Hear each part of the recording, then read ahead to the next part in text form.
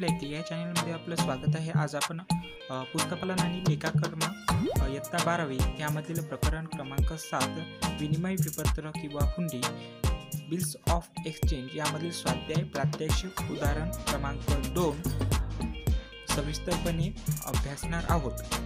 त्यापूर्वी आपण या चॅनलवरती नवीन असल्यास या चॅनलला सबस्क्राईब करा आणि सोबतच बेल आयकनला सुद्धा प्रेस करा. त्यामुळे माझे नवीन अपलोड होणारे व्हिडिओज आपल्याला सर्वात पहिले बघता येतील. चला तर सुरू करूया आजचा व्हिडिओ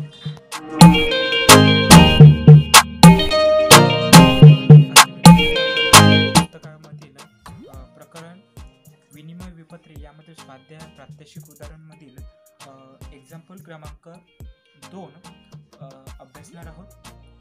चला तर सुरू करूया. सर्वप्रथम उदाहरण आहे सहा सप्टेंबर दोन हजार एकोणीस रोजी नेहाने बेचाळीस हजाराच्या वस्तू रोहनला विकल्या. नेहाने त्याच्यावर तीन महिने मुदतीचे विपत्र लिहिले जे रोहनने स्वीकारले. नेहाने ते विपत्र आपल्या बँकेत एक्केचाळीस हजार चारशेला वटविले व वि विपत्राच्या देय दिनांकाला रोहनने विपत्राचे अनादरण केले आणि बँकेला तीनशे रुपये नोंदणी खर्च आला. तर या एक्झाम्पलमध्ये आपल्याला नेहाच्या पुस्तकात कीर्तनोंदी तयार करायच्या सांगितलेल्या आहेत. तर चला तर सुरू करूया. उदाहरण आहे नेहाच्या पुस्तकात कीर्तनोंदी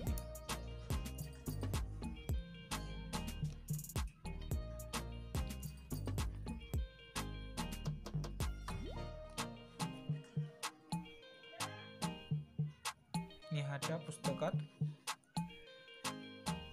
कीर्त नोंदी. दिनांक तपशील किंवा विवरण लिहिलं तरी चालेल. राशी रुपये राशी रुपये. राशी रुपये. सर्वप्रथम सहा सप्टेंबर दोन हजार एकोणीस. दिनांक लिहून घ्यायची. दोन हजार एकोणीस सप्टेंबर सहा. तर काय नेहाने बेचाळीस हजारच्या वस्तू रोहनला विकल्या. सर्वप्रथम आपल्याला माहीत करून घ्यायचं आहे की नेहा ही आदेशक आहे की आदेशित आहे? तर आपल्याला एक्झाम्पल क्रमांक उदाहरणावरून समजते की रोहनने रोहनला नेहाने रोहनला वस्तू विकल्या. कोण विकल्या? तर याच्यावरून पण समजत नाही. तर पुढं पण दिलेलं आहे. ज्यानं विपत्र काढलं ते आदेशक असतं आणि ज्याने विपत्र स्वीकारलं ते आदेशिती असते. तर या एक्झाम्पलमध्ये नेहाने रोहनला वस्तू विकल्या. तर नेहा ही आदेशक आहे आणि रोहन ही वस्तू स्वीकारल्या. त्यामुळे रोहन हा आदेशित आहे. तर आपल्याला नेहाच्या पुस्तकात कीर्तनोंदी करायच्या म्हणजेच आदेशकाच्या पुस्तकात कीर्तनोंदी करायची. तर माल विकल्याची नोंद आदेश आदेशकाच्या पुस्तकात ग्राहकाचे खाते नावे विक्री खात्याला जमा. म्हणजेच इथे ग्राहक कोण आहे? रोहन. रोहनचे खाते नावे?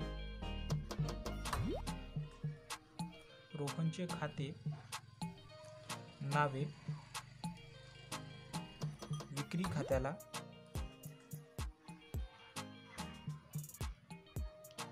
खात्याला जमा. जमा म्हणून जमा. मनाच्या मनात जमा म्हणायचं आणि रक्कम आहे बेचाळीस हजार. बेचाळीस हजार. दोन मिनटं. बेचाळीस हजार.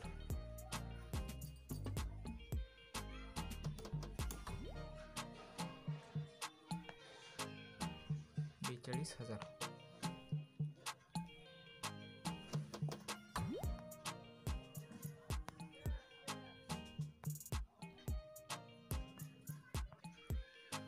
विकल्या. त्यानंतर याचा तपशील काय लिहायचा? लिहायचा आहे उधार मालाची विक्री केल्याबद्दल नाही. तर असं लिहिलं मालाची विक्री केल्याबद्दल. कारण उधार नाही आहे ना मालाची विक्री केल्याबद्दल. त्यानंतर आहे वस्तू विकल्या नंतर नेहाने त्याच्यावर तीन महिने मुदतीचे विपत्र लिहिले आणि जे रोहनने स्वीकारले. लिहिल्याची नोंद आपण आपल्याला पुस्तकामध्ये दिलेली आहे. मात्र स्वीकारल्याची नोंद आहे. काय आहे प्राप्य विपत्र खाते नावे? आदिशेतीच्या खात्याला जमा. आदिशेती कोण आहे? रोहन. म्हणून प्राप्य प्राप्य विपत्र खाते नावे? रोहन. तुमच्या खात्याला जमा.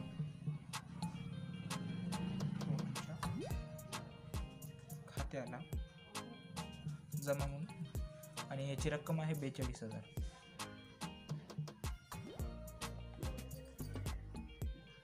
कंसात लिहायचं विपत्राला स्वीकृती मिळाल्याबद्दल.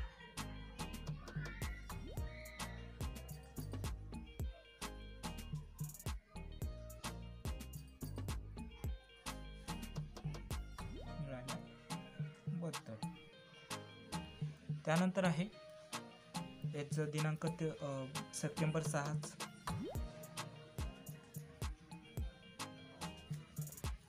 नेहाने ते विपत्र आपल्या बँकेत एकेचाळीस हजार चारशेला वटविले. विपत्र बँकेत वटवल्याची नोंद काय आहे? रोख ऑब्लिक बँक खाते नावे कसर खाते नावे प्राप्य विपत्र खात्याला जमा. त्यामुळे ती लिहायचं आहे दिनांक सप्टेंबर सहा कारण देय दिनांक म्हणून असं काही शब्द दिलेला नाही तर ते पुढे दिलेलं आहे. सप्टेंबर सहा वटवलीची नोंद रोख ऑब्लिक बँक खाते. नावे. कसर खाते. कसर खाते नावे. प्राप्य. पत्र खात्याला जमा. रोख ऑब्लिक बँक खाते. रोख किती दिले आपण? एकेचाळीस हजार चारशे. वटविल्याची रोख एकेचाळीस हजार चारशे. आणि आपली रक्कम होती बेचाळीस हजार. त्यानंतर आपल्याला कसर काढावी लागेल लागेल म्हणून बेचाळीस हजार वजा एकेचाळीस हजार चारशे.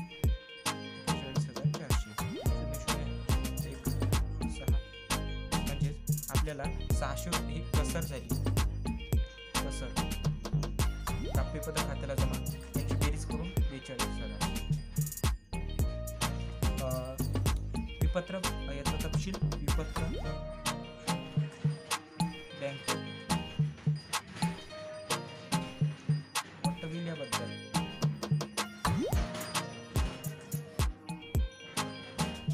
त्यानंतर आहे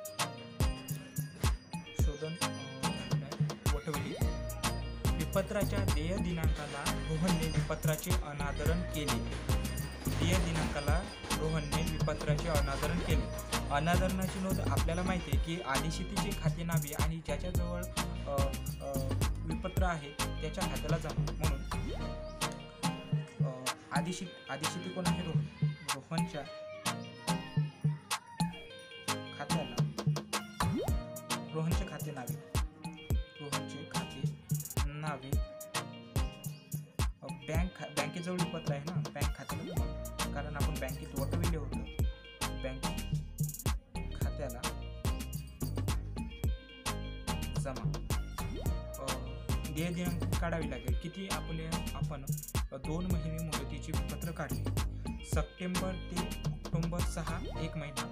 नोव्हेंबर सहा दोन महिने. दोन महिने. त्यानंतर सहा सात आठ नऊ. म्हणजेच सात आठ नऊ नोव्हेंबर नोव्हेंबर नऊ.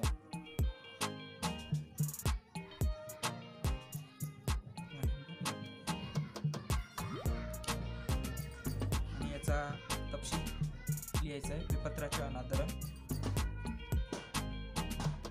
अनादरण. अनादरण केल्या झाल्याबद्दल.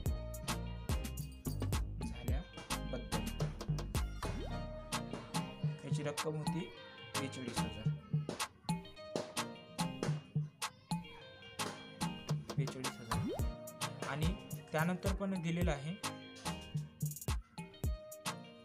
आणि बँकेला तीनशे रुपये नोंदणी खर्च आला. नोंदणी खर्च आल्याची नोंद काय आहे?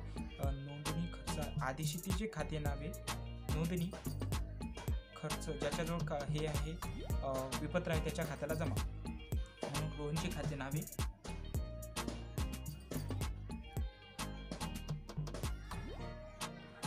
रोहनचे खाते. रोहनचे खाते नावे.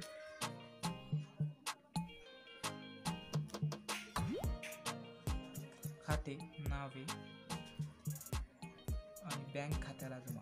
बँक खात्याला जमा रक्कम बेचाळीस हजार.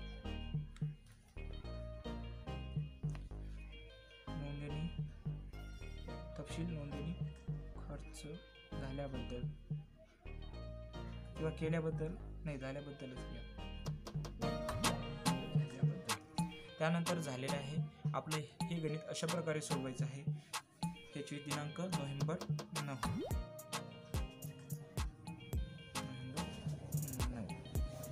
अशा प्रकारे आपण हे गणित करून दाखवलेलं आहे. आपण या चॅनलवरती नवीन असं असल्यास या चॅनलला सबस्क्राईब करा आणि असेच गणित पाहण्यासाठी व्हिडिओला लाईक शेअर करायला विसरू नका.